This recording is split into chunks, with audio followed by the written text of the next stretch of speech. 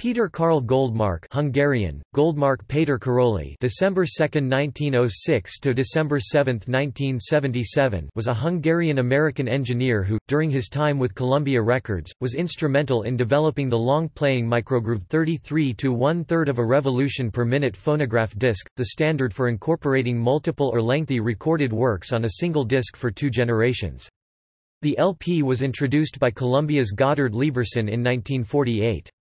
Lieberson was later president of Columbia Records from 1956 to 71 and 1973 to 75. According to George Marx he was one of the Martians.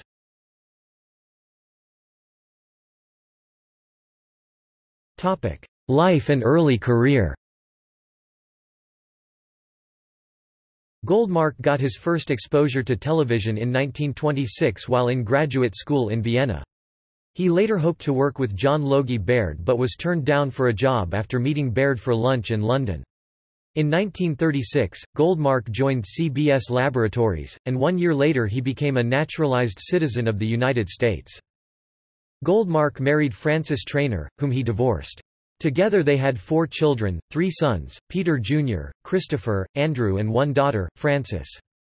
After divorcing Frances Trainer, Goldmark married Diane Davis and had two more children, Jonathan and Susan. Topic work In addition to his work on the LP record, Goldmark developed field sequential color technology for color television while at CBS. The system, first demonstrated on August 29, 1940, and shown to the press on September 3 used a rapidly rotating color wheel that alternated transmission in red, green and blue. The system transmitted on 343 lines, about 100 less than a black and white set, and at a different field scan rate, and thus was incompatible with television sets currently on the market without an adapter. Although CBS did broadcast in color with the Goldmark system in 1950-1951, the compatible color technology developed for RCA and NBC by a team led by Richard Kell, George H. Brown and others was compatible with existing black and white TVs.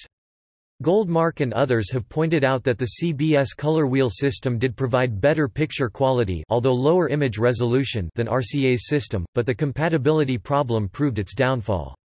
An improved RCA, NBC color system submitted in July 1953 became the industry standard chosen by the Federal Communications Commission in December 1953.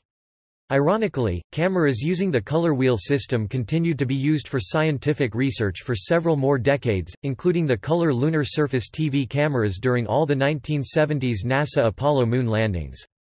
Goldmark also continued his work in developing new LP-related technologies, such as the Highway Hi-Fi, a system designed to play 7-inch LP records in automobiles. After the success of the LP record, Goldmark spent the next two decades at CBS Laboratories working on various inventions, chief of which was EVR, the electronic video recorder. This futuristic home video playback device used reels of film stored in plastic cassettes to electronically store audio and video signals, and was first announced in 1967. A B&W prototype was demonstrated in 1969 promising color playback in future models, but the invention floundered when it proved to be difficult and costly to manufacture. CBS was also concerned about the potential of competition from home video devices, particularly those that could record, a fear that eventually proved prescient.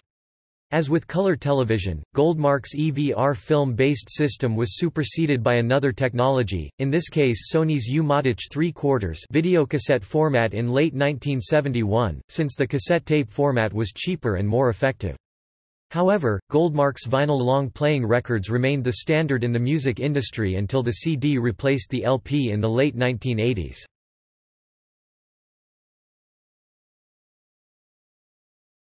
Topic: Later life Goldmark was awarded the Elliott Cresson Medal in 1969. Approaching the mandatory company retirement age of 65, Goldmark left CBS Laboratories in 1971, and formed Goldmark Communications, where he pursued research on the use of communication technologies to provide services like teleconferencing and remote medical consultations to people in rural areas. Funded by the U.S. National Science Foundation in the early 1970s, the New Rural Society Project Was housed at Fairfield University in Fairfield, Conn, and conducted pilot studies across the state in eastern Connecticut's relatively rural Windham region. In 1969 he was awarded the David Sarnoff Medal by the Society of Motion Picture and Television Engineers. In 1972, he was recognized for his leadership in the field of technology innovation by the Industrial Research Institute when presented with the illustrious IRI Medal. On November 22, 1977, President Jimmy Carter presented Goldmark with the National Medal of Science, "...for contributions to the development of the communication sciences for education, entertainment, culture and human service." Goldmark died in an automobile accident on December 7, 1977 in Westchester County, New York.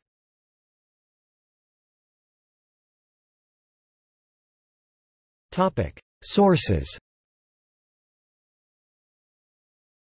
Coleman, Mark 2005 playback, From the Victrola to MP3, 100 Years of Music, Machines and Money, published by Da Capo Press ISBN 0-306-81390-4 Fisher and Fisher. The Color War.